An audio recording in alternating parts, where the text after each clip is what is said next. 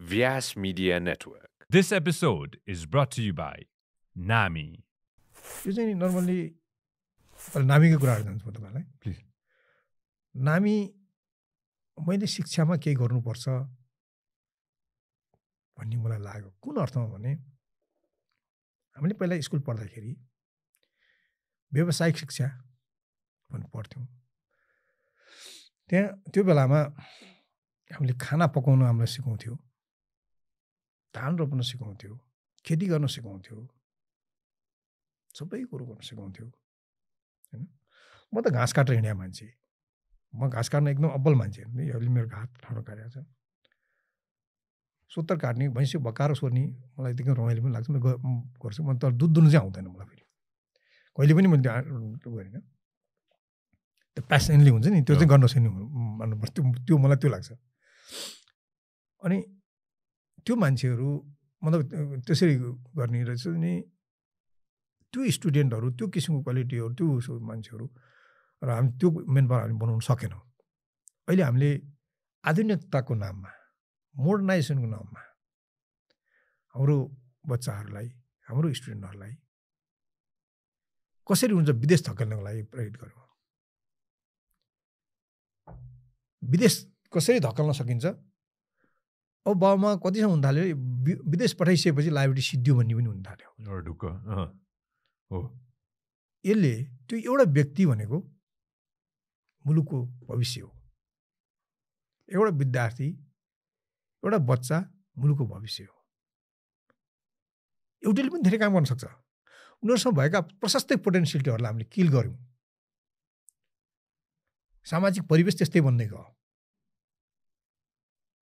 हाम्रो गाउँ समाज यसरी नै प्रशिक्षित हुन थाल्यो। र मैले नामीको परिकल्पना गरेर मेरो एकजना रेस्पेक्टेड व्यक्तित्वहरू समाजमा एउटा चाहिँ शिक्षाप्रति प्रतिबद्ध व्यक्तिहरूसँग मैले कुराकानी गरेँ। उहाँहरूले ल अगाडि बढौँ। भनेर भन्नुभयो। आज मलाई नामीप्रति के गर्व छ भने यसले भरपुर व्यावहारिक शिक्षाको लागि काम गरिरहेको छ। र विदेशी डिग्री जुन चाहिँ विदेश नगइकन पनि यहाँ प्राप्त गर्न सक्ने त्यो क्यापेसिटी बनाएको छ। यहीँ बसेर विदेशी डिग्री प्राप्त गर्न सक्छन्। र यहाँ नामीमा एजुकेट भएका हर स्टुडेन्ट संसार कुनै पनि ठाउँमा जब प्लेसमेन्टमा रेस्पेक्टेड जब पाउँछन् पाइरहेका छन्।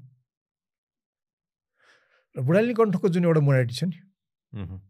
Best of the best student with practical man पावरको हिसाबले जुन उनीहरूले काम गर्नुहुन्छ त्यही मोडालिटीमा हामीले काम गर्ने सोच बनाइयो र नामीलाई भोलि गएर डिम युनिभर्सिटीको हिसाबले पनि हामीले सोच बनाएका छौँ।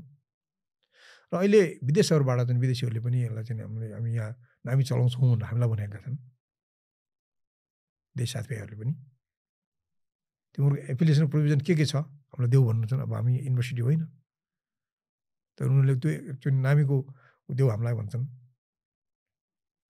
त्यो किसिमको जापानमै भइरहेछ। युरोपतिर एक दुईवटा मुलुकमा भइरहेछ। र वेस्ट जुन किसिमबाट हामीले एजुकेसनको हिसाबमा हामीले चाहिँ नि मुलुकलाई अथवा हाम्रो समाजलाई बिगार्दै गइरहेका छौँ यसो करेक्सनको एउटा चाहिँ नि बिन्दुको रूपमा हुन्छ कि नामी भनेर हामी त्यो सुरु गरे तपाईँले हाम्रो क्लिप एकदमै इन्जोय गर्नुभयो होला। अब पुरै भिडियो हेर्नको लागि चाहिँ युट्युबमा सब्सक्राइब गर्न नबिर्सिनु होला